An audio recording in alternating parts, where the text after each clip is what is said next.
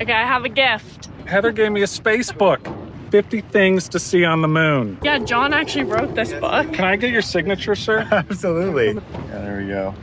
I'm gonna go sell this on eBay. So I did a deep dive on the moon for about a year and a half, and I picked all my favorite targets, and then I went and I researched like who are they named after, why was the name chosen, who named them, and now I revisit those features all the time because they're like my favorite. That is so cool. It was just a really awesome project. Thank you so So, much. brilliant. I was trying to get this during the third quarter moon. I've been looking for the straight wall. If anybody can find the straight wall, See first it, quarter see or it. third quarter moon, you get the straight one. Yep. The third quarter is bonus points. It's like Yeah. a brightish white and Yeah. it looks totally different. Yeah. It's crazy that it's like 300 miles long.